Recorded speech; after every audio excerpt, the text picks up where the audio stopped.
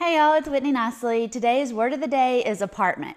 And a lot of you lived in an apartment when you were in college or in your 20s or in some sort of transition in life. And that's what we're talking about here. It's a unit that has its own kitchen, bathroom, mailbox, electrical box. You got your own internet there. And most of the time, apartments are in a group of other apartments. Now, if you want to talk about making some money, you definitely need some apartments in your portfolio. Right now, I have 19 of them, and I love my apartment complexes. If you have any questions, go to whitneynicely.com, hit the start tab, and you can book a call with me, or go to the store and you can order the dictionary and get all of our daily terms in one book.